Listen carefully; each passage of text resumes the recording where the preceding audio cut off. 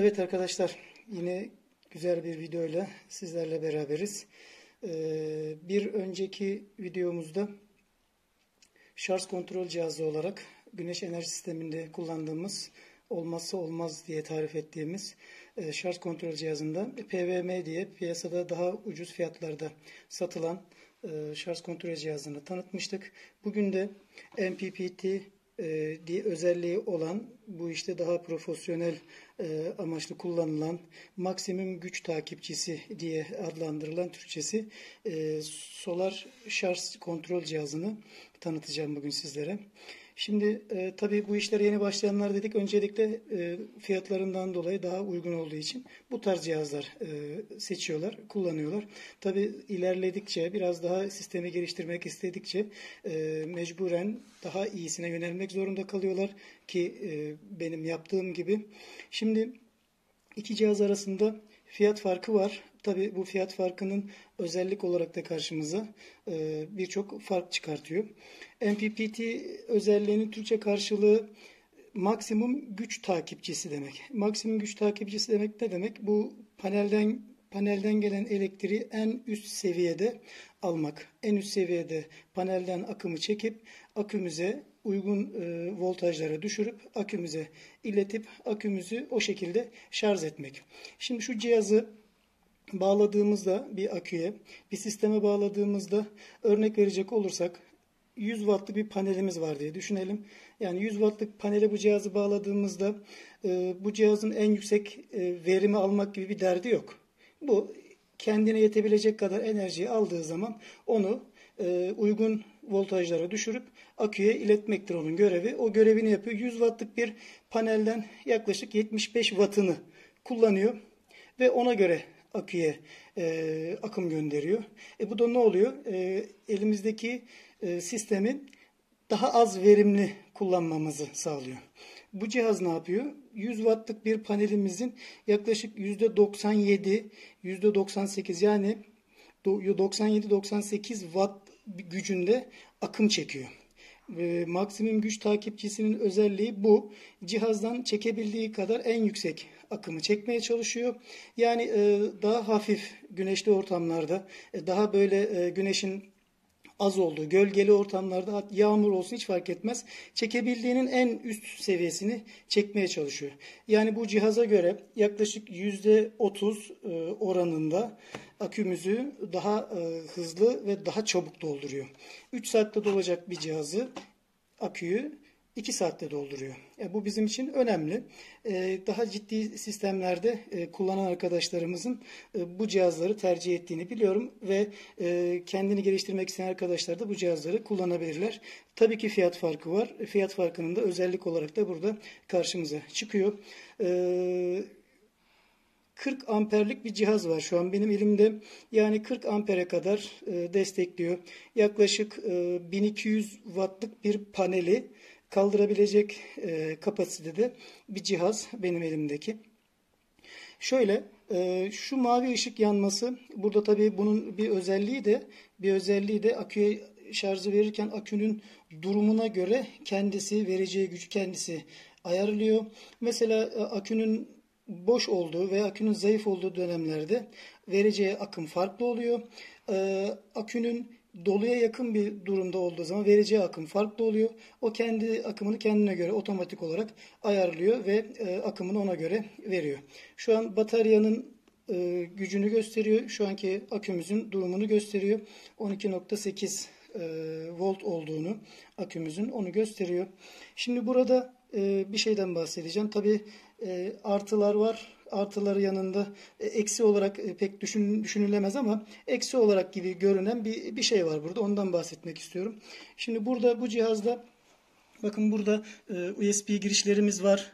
Burada artı 12 volt olarak kullanabileceğimiz aparatıyla beraber çıkışlarımız var. Artı yine burada e, kullandığımız burada e, ampul olarak işte 12 volt güç kullanan e, ampul için bağladığımız girişlerimiz var. E, bu cihazda bunları göremiyoruz. Bu cihazda bunları göremiyoruz. Yani e, bu diyor ki beni Beni böyle şeylerle e, meşgul etmeyin. Benim işim farklı. Ben onlarla uğraşacağım diyor ve sistemi daha hızlı nasıl tolere edebilirim? Bu cihaz onun derdinde. Şimdi bir de cihazın e, ekranda bize nasıl bir bilgi paylaştığını onunla alakalı e, birkaç şey paylaşacağım sizlerle. Burada şimdi şu an batarya diyor. Şu an bataryanın gücünü gösteriyor. E, şu an PV dediği bizim panelden cihazımızın çektiği gücü gösteriyor. Şimdi bu cihazın maksimum gücü çekebileceği en yüksek gücü e, çekmeye çalıştığı için tabi ortamın güneşine göre ortamın e, havanın açık ve kapalı olmasına göre kendisi çekebileceği en yüksek gücü çekmeye çalışıyor. Şu an mesela işte e, rakamlar çıkıyor, düşüyor. Tabi şu an tabi dışarıda da e, güneş bir açıyor, bir kapalıyor. Ona göre de kendine göre bir e, ayar yapıyor. E, burada şu an çalıştığı kategoriyi gösteriyor. Şu an bu kategoride. Bunlar tabii ki akünün durumuna göre kendisi otomatik olarak şarj e, olayını kendisi ayarlıyor ve bu bazen oluyor buraya geçiyor akünün durumuna göre. Bazen flat yani e, orta seviye dediğimiz e, bölümden kendisi aküyü şarj ediyor. E, burada şu an e, benim dışarıda 20 wattlık bir küçük bir panelim var. O panelden çektiği amper gücünü gösteriyor. Yani yaklaşık 0,5-0,6 amper bir akım çektiğini gösteriyor. Bunlar güzel şeyler. Yani e, ekranın ekranda tabii şu an e, ışık olduğu için güneş biraz fazla aydınlık olduğu için ekranda güzel beyaz bir led bir ışık var. O da tabii ki videoda çok belli olup olmadığını bilmiyorum. Ekranda güzel akşam karanlıkta çok güzel led bir aydınlatması var. Beyaz bir aydınlatması var. Evet şimdi tekrar yine e, akünün kendi e, gücünü gösteren ekrandayız.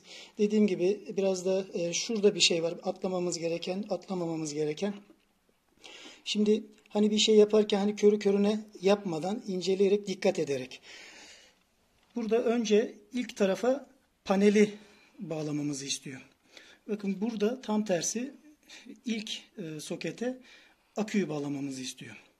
Artı Hemen yanında bu akü demiş. Burada bizdekinde e, bu cihazda da panelden gelen e, kabloyu bağlamamızı istiyor. Bir de mesela burada artı eksi demiş. Artı eksi demiş. Bu cihazda daha farklı. Artı eksi demiş ve hemen panelden gelen kabloyu da eksi ve artı demiş. Yani burada bu e, yanılarak eski cihaza göre biz bağlantı yapmaya kalkarsak e, şu artıya eksiye dikkat etmemiz lazım. E, cihaza zarar verebiliriz. Bu da önemli. Buna da dikkat edelim. Bir de genel anlamda şu kasayla alakalı e, birkaç şey de paylaşalım. Bir kere çok ağır yani cihaz kendini gösteriyor şu cihaza göre yani bu gerçekten yaklaşık e, kitapçığında yazan bilgiye göre yaklaşık 1,5-2 kiloya yakın bir cihaz bu elimizdeki.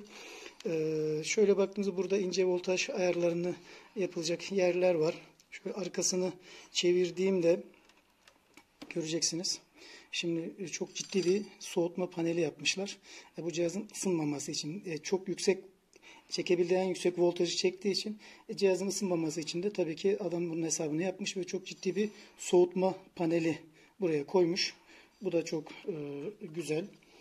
Şimdi e, bu cihaza baktığımızda bu cihazın soğutma panelini gör, görüyorsunuz.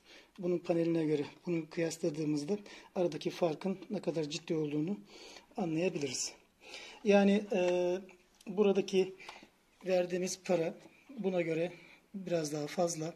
Ama ben bu işi daha ciddi boyutta yapmak istiyorum. E, elimdeki sistemi en güzel şekilde kullanmak istiyorum diye düşünüyorsak MPPT özelliği olan panelimize göre akım değerini taşıyan bir cihaz almamız gerekiyor. Yok benim öyle çok ciddi bir planım yok ama ne alabilirsem e, işimi görür diye düşünüyorsak bu cihazlarda işlerimizi görüyor. Yeter ki panelle e, akım gücümüz birbirini karşılasın, birbirini tutsun. Önemli olan o. İşte e, bir saatte bir aküyü dolduruyorsa yaklaşık e, yarım saatte veya biraz daha fazla bir zamanda bir aküyü dolduruyor.